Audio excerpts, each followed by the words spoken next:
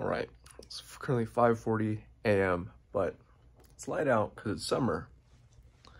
Flying this, gonna be the Maiden, go down to Phoenix, picking up some buddies. We're also gonna be flying the Spitfire and the F-35. So let's go. Oh, there he is. you ready to go watch some planes fly? I'm ready to eat my cheesecake. Oh, I brought snacks too. Like I brought snacks. Wow. Okay. Man of the F-117. Goes nothing.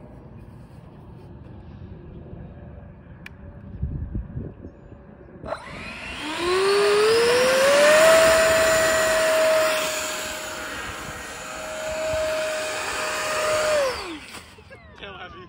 Really tail heavy.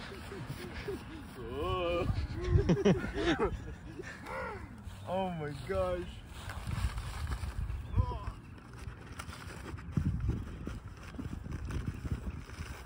Yeah. Get out of there. Nice landing. Thanks. Good flight, good flight. Just need to push it forward, I guess. Go all the way forward. All or nothing. That was terrifying.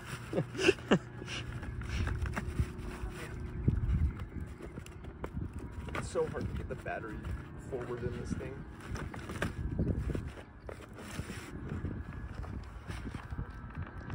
That should be good. Doesn't want. Let's try again.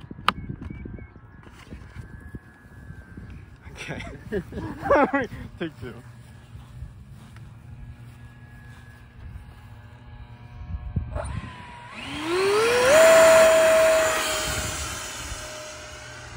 Oh my gosh! What? Oh, that's so cool! Wow! That is full power.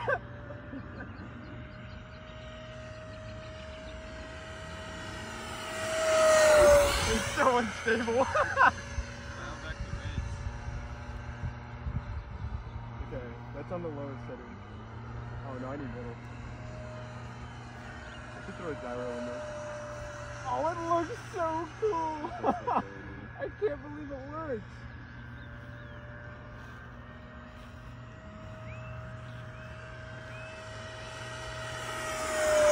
Oh yeah!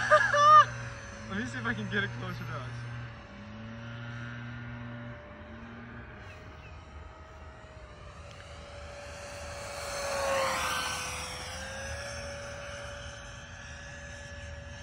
Oh my god. I'd say dial it back on the roll, but move the pitch. Yeah, it needs a lot of elevator.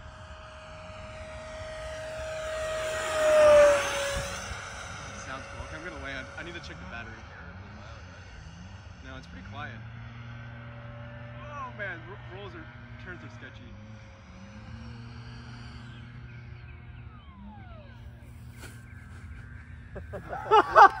it works! Oh my god, that's, That's so cool. cool. That is super cool. It's so underpowered. Oh, this is beautiful. Oh my gosh. It needed almost no trim too. That's crazy. That's really cool. That was fast. It's It speed. goes surprisingly fast. It's a little quick, yeah. It, it has a really high stall speed though. I can feel it in the turns. It just wants to drop like a rock. I mean, it makes sense. Yeah.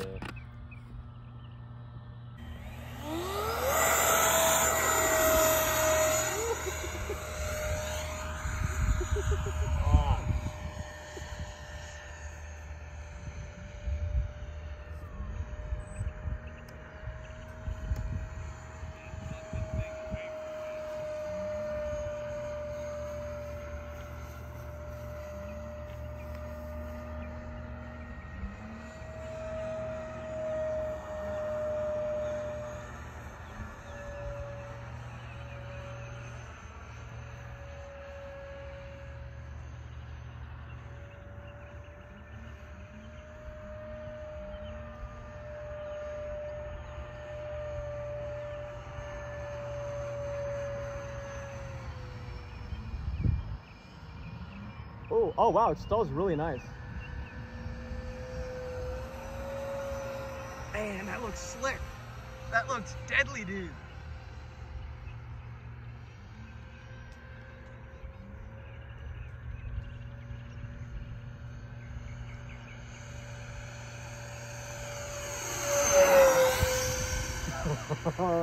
That's so cool. You're past bank the other way, so you can see the front of it. Okay.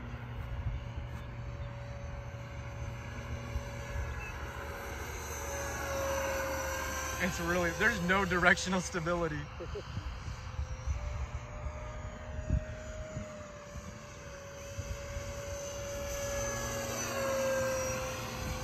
All right, I need to land it. I'm literally hitting my timer.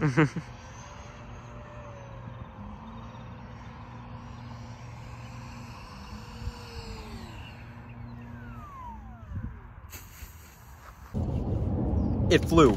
The Nighthawk flew. It worked. It's crazy. Do you want a chip? Yeah, one chip. One chip. We're here in, in like East Phoenix, snacking before we go back up. It doesn't fly very good. It's really unstable like the real thing. It doesn't have a ton of thrust.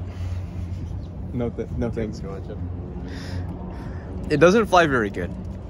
It's got a really low thrust to weight ratio, even even when I'm moving. So I don't know how it's gonna fly at altitude when we get back home, but we'll see. We'll do some tests. Um, it's also really unstable, Do you want a chip? and on top of that, it's not. It's it's really difficult in the turns, but it lands really good and it glides really good. So I might make a glider too, and we're gonna see. So yeah, we're gonna do more testing. Might make a version three of it.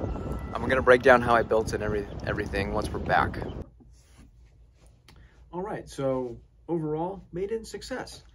First things first, I just want to say shout out to RC Foam Fighters and Paul Betty, who runs that channel and runs the web store. That's where I got the plans for Nighthawk. So this bad boy right here, take those off. Those are where the plans are from. I'll link is going to be in the description to the website if you want to go check it out. He has a ton of videos, a ton of build videos of how he made it. This is a derivation of it. His is a prop and slot. This is obviously the ED, 64 millimeter EDF. Uh, going over electronics, the electronics uh, I got from a friend. They're stripped out of an E-flite 64 millimeter EDF F15. So if you, a lot of you guys are familiar with EDFs and um, the types that are out there for good prices, the E-flite F15 is a really good deal and it comes with a lot of power for the power system. We just took that power system and just ripped it out and then shoved it into this. Now I did want to talk about the design of this jet for a little bit and first things first, it is not stable at all. It does not have a lot of thrust.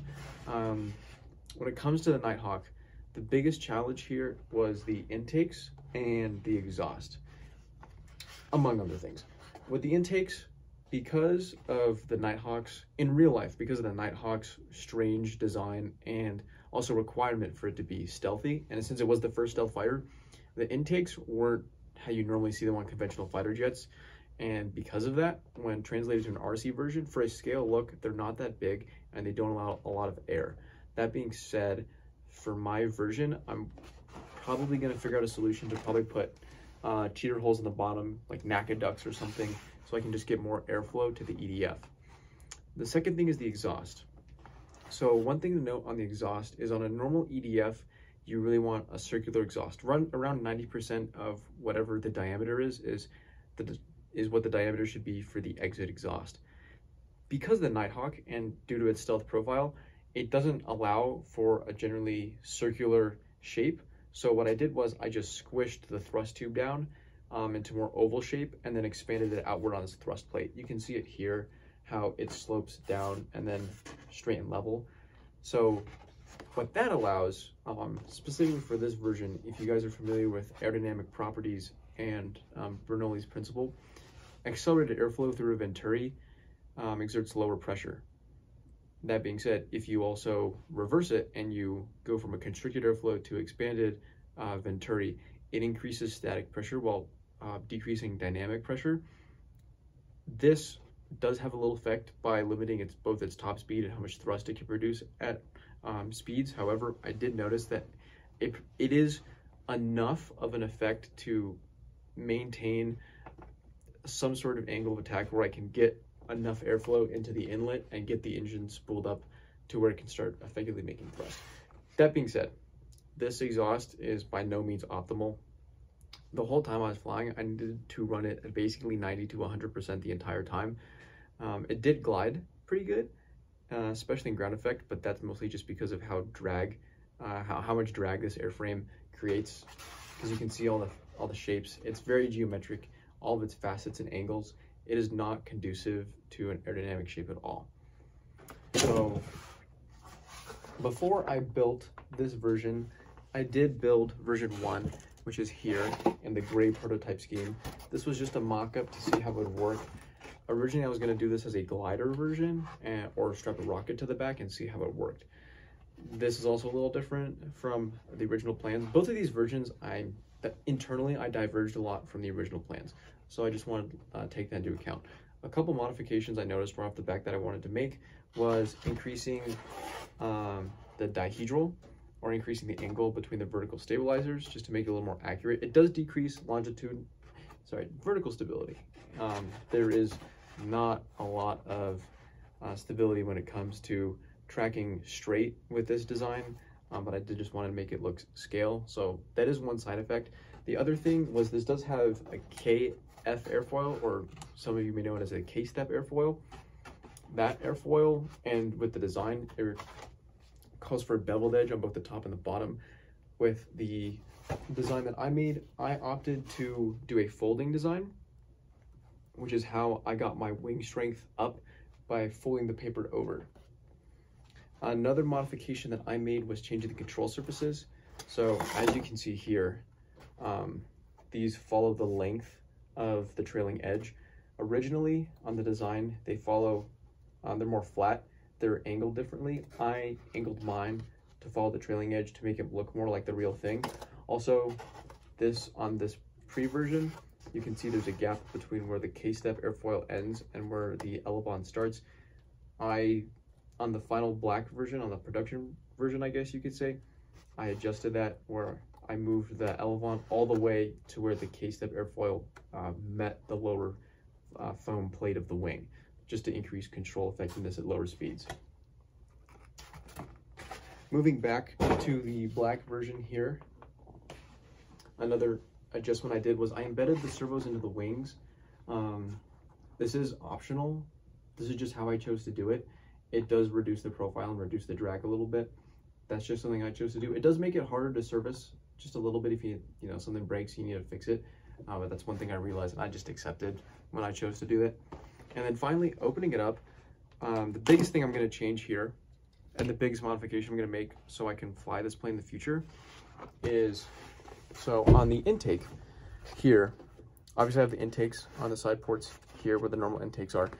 And those being the only areas, I wanted to maximize the amount of airflow going from there into the EDF while still making it roughly aerodynamic because if it's just left open and there's no way to guide the air, it's going to be less efficient than if I were to constrict it yet guide the air, which is what I aim to do here. Um, the one thing I did notice was I didn't glue this section down, this poster board, and it's still flexible, which meant that at, at higher power settings, uh, the foam board started, the poster board started to flex.